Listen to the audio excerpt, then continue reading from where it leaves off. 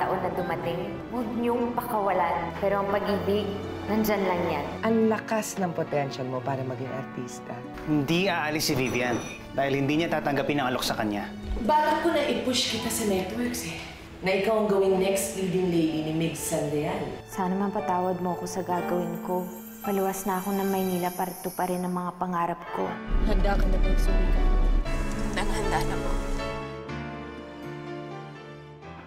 Vivian, siya si Miss Eugene. Siya yung producer ng movie ni Migs. Ito yung sinasabi kong bagong talent ko.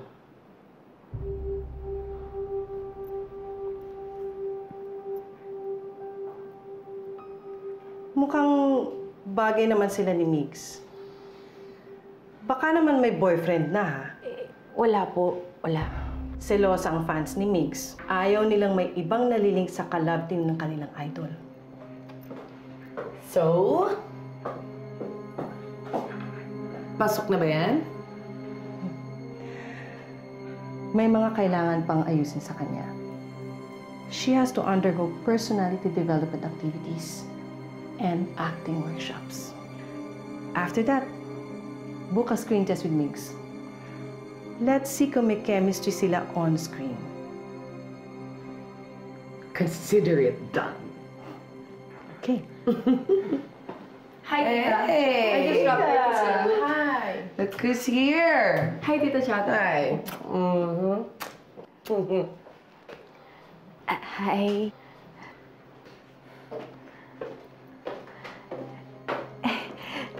Tita, si Frida po yun, di ba? Idol na idol ko po siya. Excuse me. Yeah. Hello. Yes. Yes. Don't worry. Be patient lang, darling.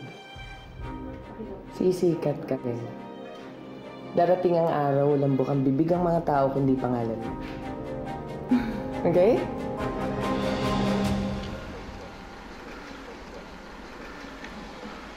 Oo, hindi. Mahal mo pa ba ako? Ewan ko. Hindi ko alam. Jessa, hindi pwedeng hindi mo alam. Ano ba yung nilalaman ng puso mo?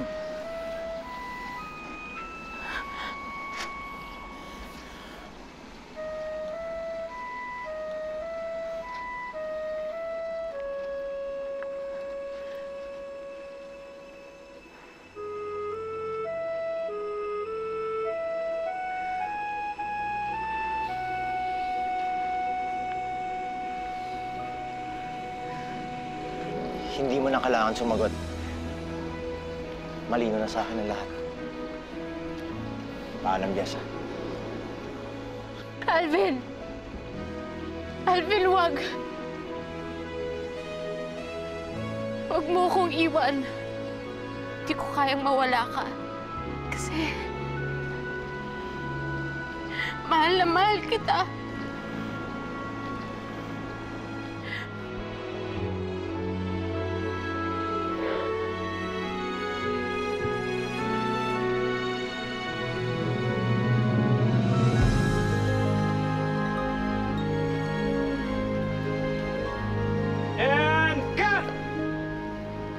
Good take.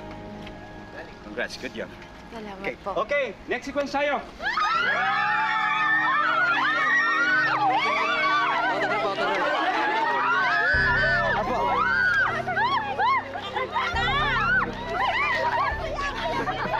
Salamat po, tumigyan na. Okay na, nagay ito. Nay! Po. Salamat po. Teka, nakasarado, nakasarado. Buksan mo, buksan mo, buksan mo. Buksan mo, buksan mo, buksan mo. Buksan mo. Thank you. Opo. Ay, sige po, teka po. ah. Ito na po. Teka lang, ate.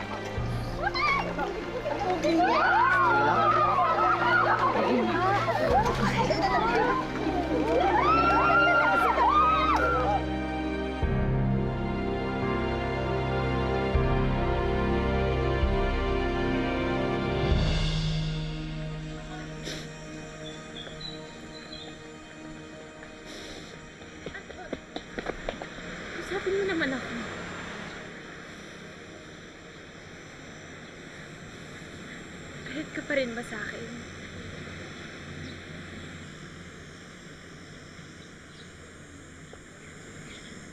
Ano sa tingin mo? Bigla ka na lang umalis. Pinabayaan mo ako na parang basura na lang na pwedeng iwan kung ayaw mo na. Ganun ba akong kaliit sa'yo? Hindi ako gamit. Tao ako. Hindi ko naman gusto iwan kay. Kaso wala akong choice. Meron. Kaya lang, ang pinili mo yung madali. Pumayag naman akong mag-artista ka, di ba? Pero bakit kailangan saktan at iwan mo pa rin ako? Di pa ba ako sapat sa'yo dahil ganito lang ako? Pera at ambisyon lang ba talaga ang mahalaga sa'yo? Oo na. Ako na yung masama. Ako na yung makasarili. Pero minsan, hindi ba pwedeng sarili ko muna ang isipin ko? Bakit? Kung nagsama na tayo, anong ipapakain mo sa akin? Hollow blocks?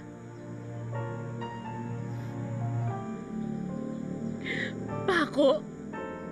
Yun ba yung kinabukasan na gusto mo para sa akin? Anton, suwang-suwa na ako sa kahirapan. Ito na yung pagkakataon na maiahon ko ang sarili ko. Mali ba yun na minsan, na minsan lang sa buhay ko, unahin ko ang sarili ko? Bumalik ka na doon. Baka hinahanap ka na nila. Alaala ng aking pagkukulang Laging binabalikan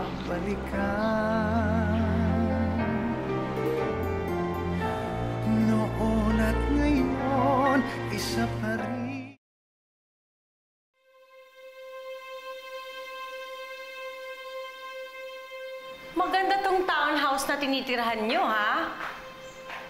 Kung hindi lang talaga ako nagpabuntis ng kabataan ko, malamang ako yung nag-artista.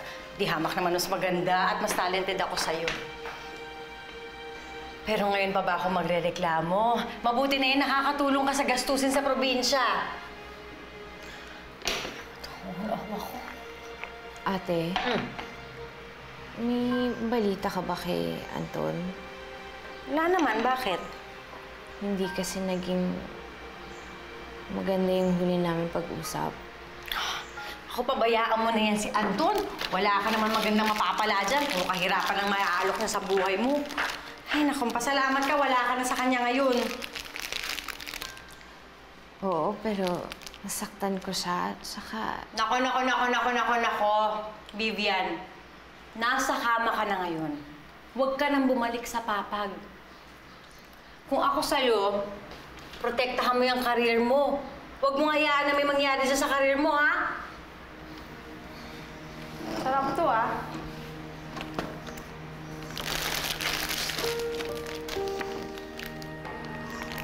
Hoy! Kakainin mo yan?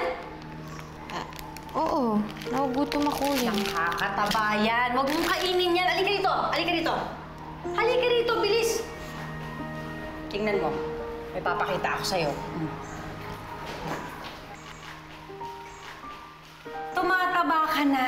Huwag mong hayaang tumaba ka. Hindi maganda sa artista yung malusog, pangit sa screen. Akin na lang yan. Pasalubong ko sa mga pamangkin mo. Naku, mag-ingat-ingat ka. Yung karir mo, alagaan mo. Hindi maganda yung mataba. Ano ba bang mga pagkain dito?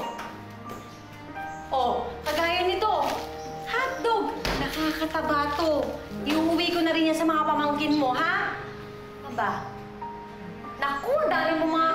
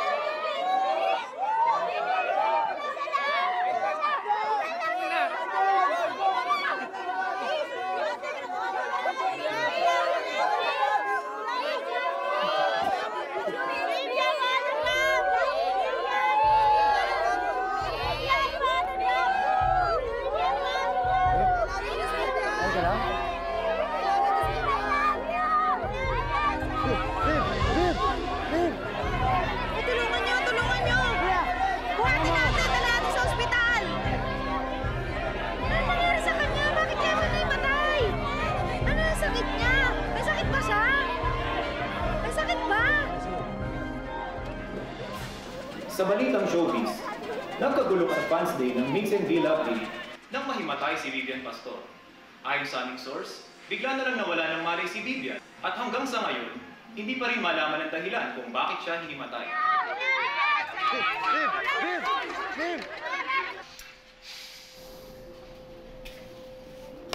Alam mo, una ko palang nakilala yung babaeng yon.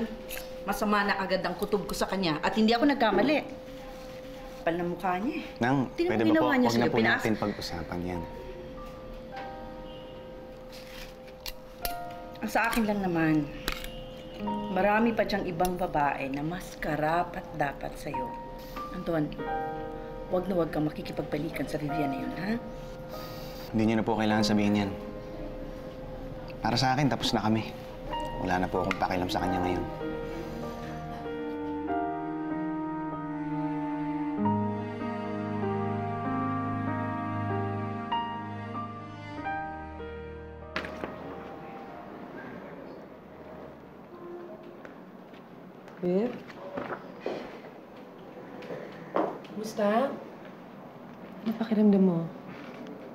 Masakit pa?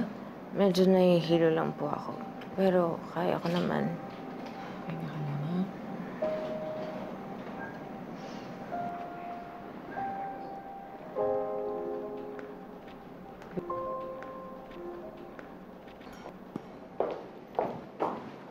Doc. Hmm. Lumabas na ang lab results. And everything is fine. Her BP is back to normal. There you go. Bakit po bigla akong hinimatay? Marahil hindi kinaya ng katawan mo ang sobrang pagod at puyat. Tapos nakadagdag pa yung init at dami ng tao. Vivian, I know you're very busy with your career. But I suggest you should really take good care of yourself. Lalo na ngayon, hindi mo na solo yung katawan mo. Ano pong ibig niyong sabihin? Hindi mo pa ba alam? Vivian, you are on your second trimester. Buntis ka.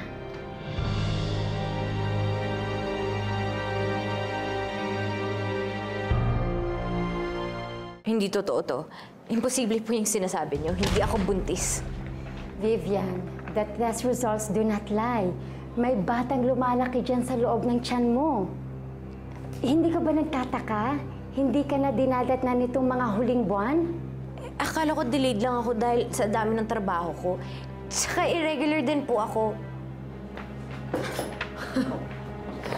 Dok, di kaya nagkamali lang kayo? Baka naman ibang pasyente ang tinutukoy niya. I mean, mistakes happen all the time.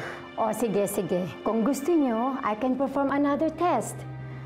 But I'll tell you, it would just be a waste of time. Kasi iisa lang ang lalabas sa, sa resulta. If that's the case, Doc. Dapat walang makaalam nito. Okay. Sige, fine. Thank you.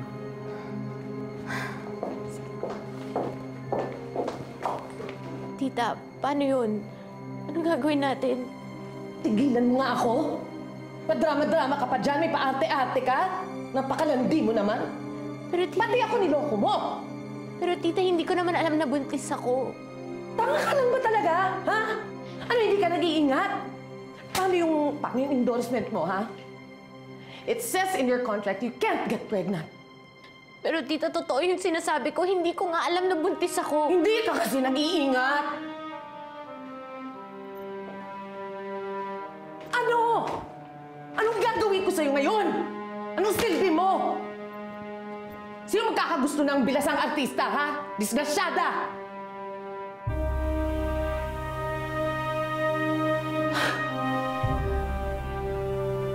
Ayan na, ayan na. Ay, ayun si i-roll mo camera. Please, sila na. Ma'am Bibian, Ma'am Bibian, anong resulta ng doktor? Excuse me, yes. Oo, sandali lang, sandali lang. Excuse me, magbibigay kami ng statement. Sandali lang, sandali lang ha. Ma'am, may mga bali-balita po kasi napunta si oo, excuse us lang, excuse us. Sandali lang magbigay lang po kayo ng konting statement. Oo, oo, oo, I'll take care of this ha.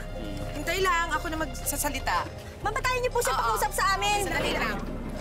Pasok ka na, pasok ka na. Yes, oh, dito tayo, dito tayo. Sandali. Dito tayo. May mga bali-balita po kasi na may, na may sakit to si Bibian.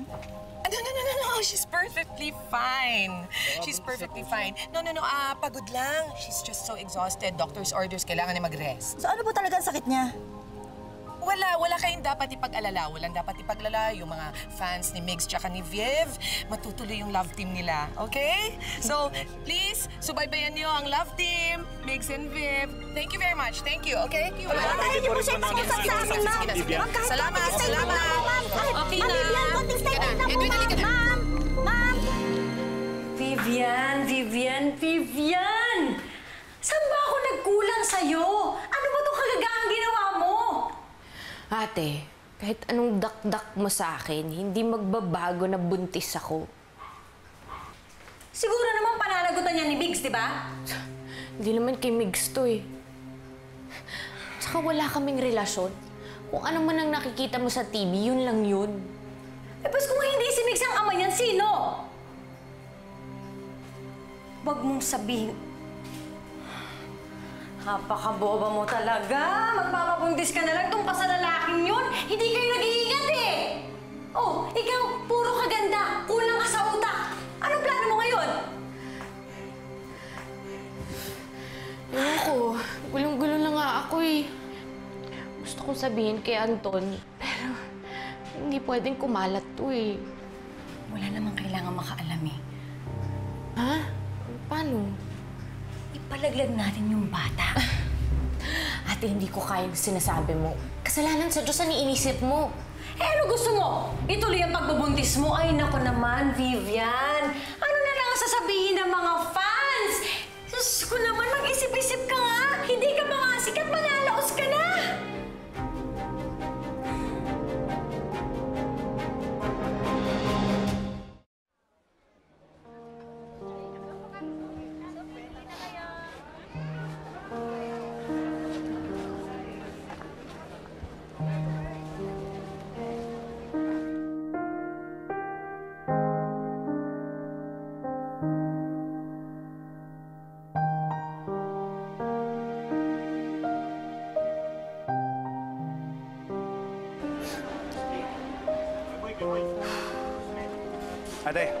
sinandome nga. Isa lang. Bukas na lang. Ate! Kamusta? Hey, ba't... Cynthia! Stella! Oh, kita mo naman ha, kung paano ako sumuporta ng todo sa kapatid mo. Kikita mo ba yan? Eto pa, hanggang dun sa kabilang stall. Ako nagpagawa niyan. Ay ba, dapat lang naman, no, dahil sa susunod na linggo na yung punta nila dito. Ay, kausap ko nga kanina, excited na excited mag-promote. At kumusta naman si Vivian? Eh yun, todo ensayo sila ni Migs. Ba, teka nga muna. Sila na bang dalawa? Naku, ewan ko, pero parang. Kasi ang sweet-sweet nung Migs, patay na patay kay Vivian. Panay nga ang padala ng mga tsokolate, mga bulaklak. Sagutin niya na kamo. Ano pa bang hihilingin niya?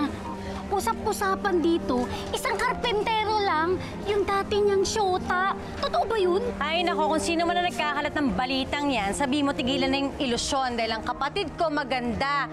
Papatol ba yun sa hamak na trabahador? O siya, ilang kilo ba? Tatlo. Uy, lista muna ha. Ah, okay. Sige. Pasensya ka na. Pagdating na lang ni Vivian, ha? Tatlong kilo? Tatlong kilo. Dagdagan mo ng konti ah.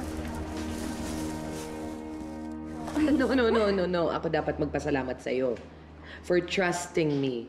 Okay, ganito. Ipapadraft ko na kaagad yung contract para mapag-aralan mo kaagad.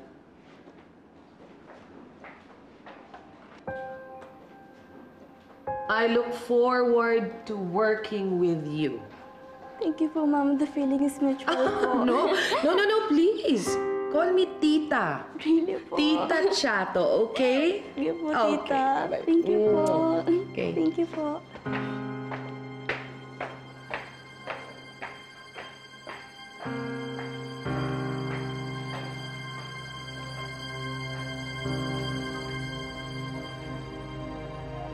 Inside. Now. Mapasin ko itong mga nakarang linggo, lagi kang tulala. Marami lang pong iniisip. Hindi ka binabayaran ng kumpanya para mag-isip. Binabayaran ka para magtrabaho. Ayoko naman patayin yung anak ko. Pero ayoko rin mawala yung karir ko. There's a solution to every problem. Pagkalabas sa pagkalabas ng batang yan, ipamimigay mo yan. Siya si Cora. Siya ang mag-ayos ng problema mo. Ikaw ba sigurado dito sa gagawin mo? Dahil sa oras na makahanap ako na mag-aampon niyang anak mo, eh, wala nang bawian yan. Tanggapin mo na, Anton. Hindi talaga kayo bagay ni Vivian. Hindi siya ang babae para sa'yo. Nagkamali kayo ng taong iniidolo! Walang kwenta yung babae yan! Ang pakiusap ko'y naway but not one.